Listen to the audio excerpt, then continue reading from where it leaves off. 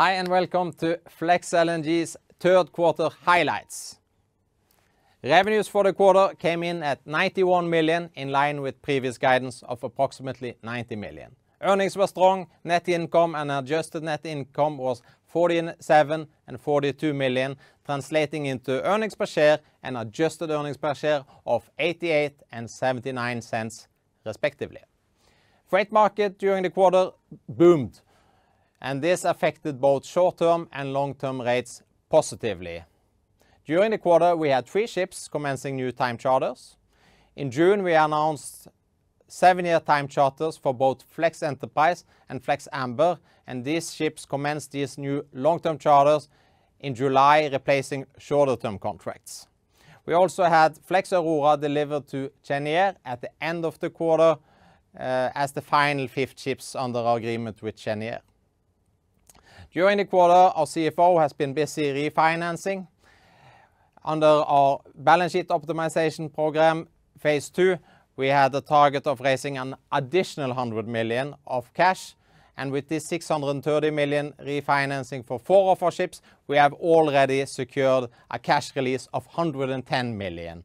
We also have three additional ships to be refinanced, uh, and the ambition our balance sheet optimization program has now been increased to 300 million in total. So we released 137 million for phase one. We are today announcing we are releasing $110 million. We still have three more ships to refinance, so we do think we will minimally raise 300 million of cash in total for this program. For next quarter, we expect slightly better numbers.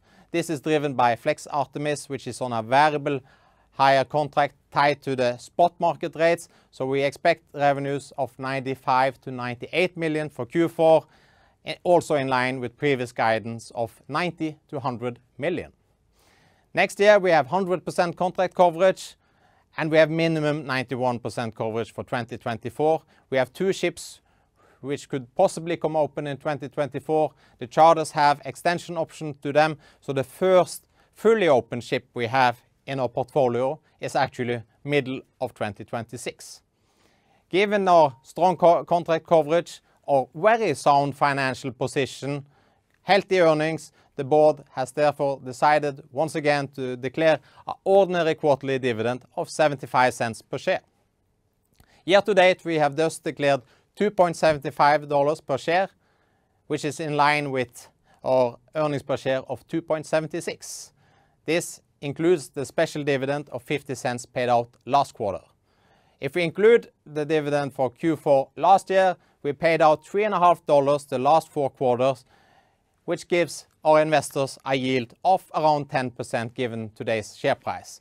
So please join our full video webcast at 3 o'clock European time, 9 o'clock U.S. time, and I hope you can join, as we will give some more detail on the market and the company in general. Thank you.